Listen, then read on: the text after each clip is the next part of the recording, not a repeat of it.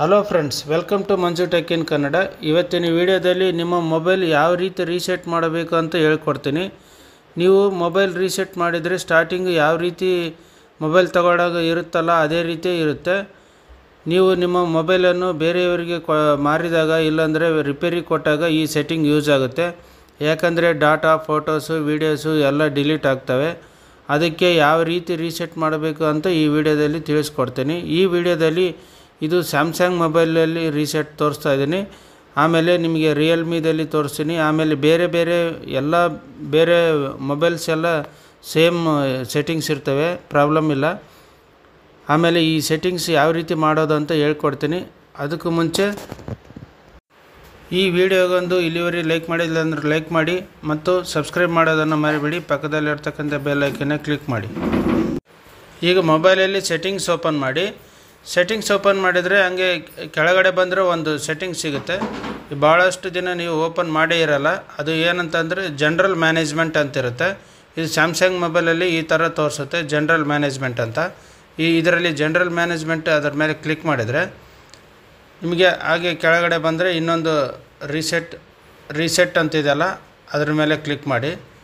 Click ಮಾಡಿದರೆ ನೋಡಿ ಈ ಥರ ಎಲ್ಲ ಇರುತ್ತೆ. ರೀಸೆಟ್ ಆಲ್ ಸೆಟ್ಟಿಂಗ್ಸ್ ಅಂತಂದರೆ ನಿಮಗೆ ಇರೋ ಡಾಟಾಸ್ ಎಲ್ಲ ಹೋಗುತ್ತೆ. ಇಲ್ಲ ಫ್ಯಾಕ್ಟ್ರಿ ರೀಸೆಟ್ ಅಂತ ಇರುತ್ತಲ್ಲ, ಅದ್ರ ಮೇಲೆ ಕ್ಲಿಕ್ ಮಾಡಿ. ಇವಾಗ ಇದರಲ್ಲಿ ಯಾವ ಯಾವ ಆಪ್ಷನ್ಸ್ ಇರ್ತಾವಲ್ಲ, ಎಲ್ಲ ಬ್ಯಾಕಪ್ ತಗೊಳ್ಳಿ. ಇಲ್ಲಾಂದರೆ ಎಲ್ಲ ಜಿಮೇಲು ಆಮೇಲೆ ಅಕೌಂಟ್ಸ್ ಎಲ್ಲ ಏನೇನು ಇರ್ತಾವಲ್ಲ, ಎಲ್ಲ ಡಿಲೀಟ್ ಆಗ್ತೇವೆ. ಫೋಟೋಸು ವೀಡಿಯೋಸು ಆಮೇಲೆ ಇಲ್ಲಿ ತೋರಿಸಿರ್ತಕ್ಕಂಥ ಎಲ್ಲವೂ ಡಿಲೀಟ್ ಆಗ್ತೇವೆ. ನೀಟಾಗಿ ಕರೆಕ್ಟಾಗಿ ಓದಿ, ಆಮೇಲೆ ರೀಸೆಟ್ ಮಾಡಿ. ಮತ್ತೆ ಡಿಲೀಟ್ ಆದರೆ ಮತ್ತೆ ಬರೋದೇ ಇಲ್ಲ. ಅದಕ್ಕೋಸ್ಕರ ಹೇಳ್ತಾ ಇದ್ದೀನಿ, ನೀವು ರೀಸೆಟ್ ಮಾಡೋಕ್ಕಾದ್ರೆ ಹುಷಾರಾಗಿ ರೀಸೆಟ್ ಮಾಡೋಕ್ಕಾಗುತ್ತೆ ಈ ಟೋಟಲ್ ಡಾಟಾ ಏನೇನು ಇತ್ತಲ್ಲ ಅದೆಲ್ಲ ರೀಸೆಟ್ ಆಗುತ್ತೆ. ಈ ಫುಲ್ಲು ನೀವು ರೀಸೆಟ್ ಮಾಡಿದರೆ ನೀವು ಹೊಸ ಮೊಬೈಲ್ ಯಾವ ರೀತಿ ಇರುತ್ತಲ್ಲ ಅದೇ ರೀತಿ ಬರುತ್ತೆ. ಈಗ ನೋಡಿ ಕೆಳಗಡೆ, ಹಾಗೆ ಕೆಳಗಡೆ ಬಂದರೆ ನಿಮಗೆ ರೀಸೆಟ್ ಬಟನ್ ಸಿಗುತ್ತೆ. ರೀಸೆಟ್ ಅಂತ ಮಾಡಿದರೆ ಟೋಟಲಾಗಿ ಡಿಲೀಟ್ ಆಗುತ್ತೆ, ಹುಷಾರಾಗಿ ರೀಸೆಟ್ ಮಾಡಿ. ರೀಸೆಟ್ ಮಾಡಿದರೆ ನಿಮಗೆ ಪಾಸ್ವರ್ಡ್ ಕೇಳುತ್ತೆ. ಆ ಪಾಸ್ವರ್ಡ್ ಹಾಕಿದರೆ ಇಲ್ಲಿ ರೀಸೆಟ್ ಆಲ್ ಅಂತ ಪ್ರೆಸ್ ಮಾಡಿದರೆ ಯಾವ ರೀತಿ ಆಗುತ್ತೆ ಅಂದರೆ ಫಸ್ಟಿಗೆ ನೀವು ಈ ರೀಸೆಟ್ ಮಾಡಿದರೆ ಫಸ್ಟಿಗೆ ಮೊಬೈಲು ಸ್ವಿಚ್ ಆಫ್ ಮಾ ಆಗಿ ಮತ್ತು ಆನ್ ಆಗುತ್ತೆ.